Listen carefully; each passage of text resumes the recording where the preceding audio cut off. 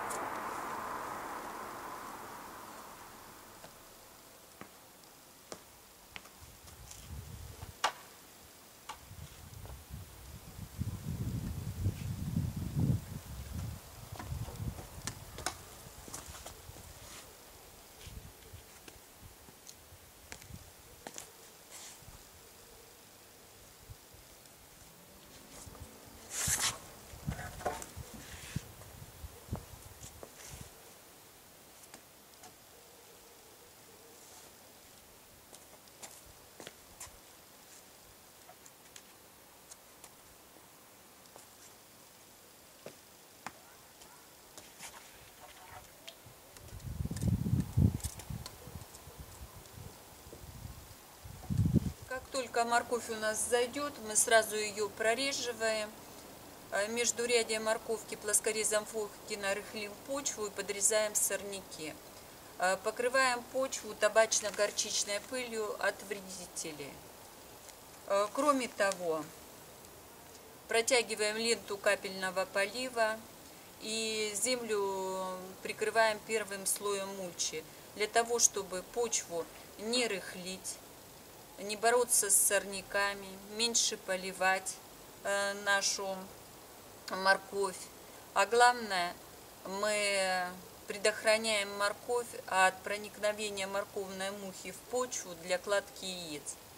Давайте будем смотреть, как это мы делаем.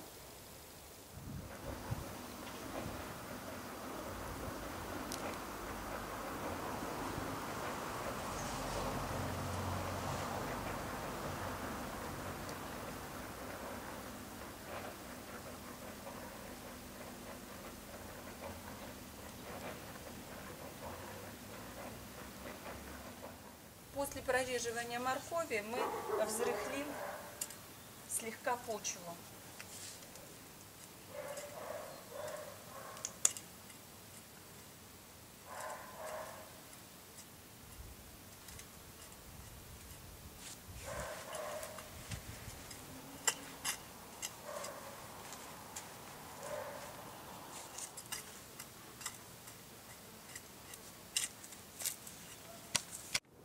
Для профилактики против вредителей мы просыпем нашу морковку табачно-горчичной пылью.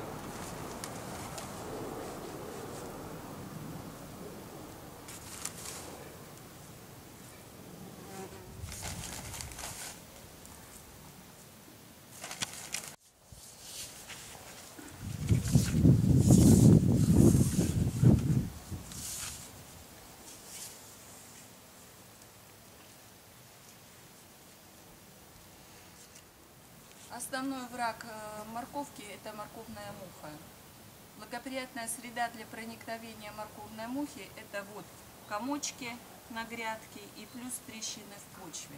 Поэтому мы закроем сейчас на, э, почву мульчей, газонной травой. Кроме этого, мульча у нас будет сохранять влагу в почве и меньше будут расти сорняки. Первый слой мульчи сделаем небольшой.